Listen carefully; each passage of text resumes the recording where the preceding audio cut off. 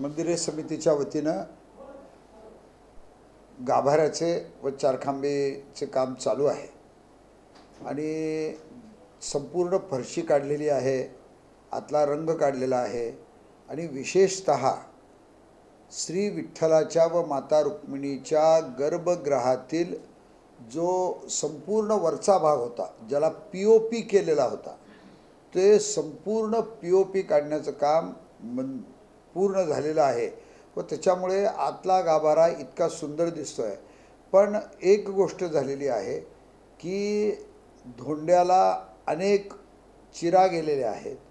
अनेक प्रकारांची धोंड्याने आपली जागा सोडलेली आहे. त्यामुळे सांधी निर्माण झालेले आहेत आणि मंदिरे समितीचा प्रयत्न राहील की आपण त्यांना एकूण पंचेचाळीस दिवसाची मुदत दिली होती. ती अंदाजे तीन मेपर्यंत पूर्ण होईल.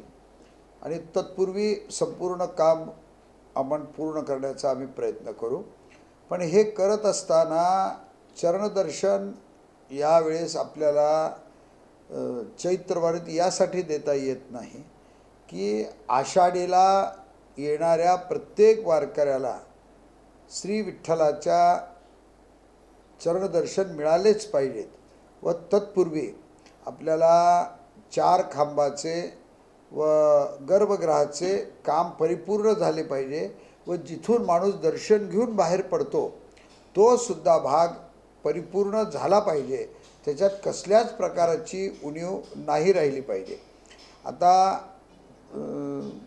त्यासाठी मंदिरे समिती चैत्रवारीला देवाच्या देवाचे चरणदर्शन देऊ शकत नाही.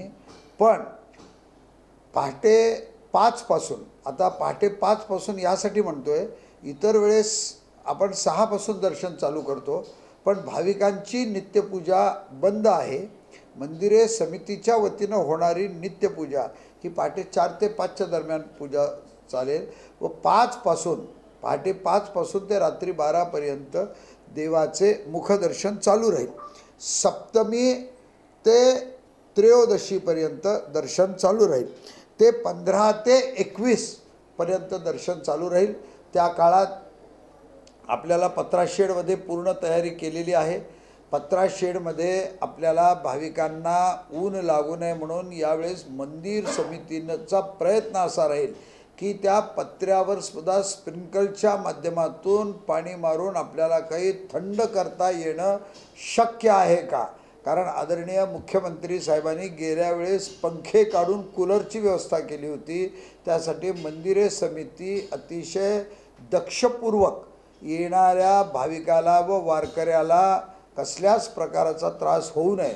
पण यावर्षीचं आपण जर ऊन पाहताल तर प्रचंड प्रमाणात ऊन आहे. आणि काल आमचे पंढरपूरचे प्रांत आणि मंदिर समितीचे कार्यकारी अधिकारी आदरणीय शेळके साहेब यांची काल संयुक्त काल बैठक झाली. त्यामध्येही असं ठरलं आहे आणि आज मंदिर समितीच्या बैठकीतही असं ठरलं आहे की वारकऱ्यांना ऊन न लागण्यासाठी ज्या ज्या गोष्टीची दक्षता घेता येणं शक्य आहे त्या सगळ्या गोष्टीची दक्षता घ्या. पिण्यासाठी थंड पाणी द्या. लिंबू पाण्याची व्यवस्था करा मठ्ठ्याची व्यवस्था करा खिचडीची व्यवस्था करा चहाची व्यवस्था करा. मंदिरे समिती येणाऱ्या वारकऱ्यांना कसल्याच प्रकाराचा त्रास होणार नाही याची परिपूर्ण दक्षता घेईल. पहिलं प्राधान्य वारकऱ्यांना सुलभ दर्शन कसं होऊ शकेल? पण पुढील शंभर वर्ष आपल्याला मंदिर समितीचं जर चांगलं काम व्यवस्थित जर करायचं असेल तर ही चैत्रवारी आपल्याला देवाचं मुखदर्शन घेऊन समाधान मानावं लागेल.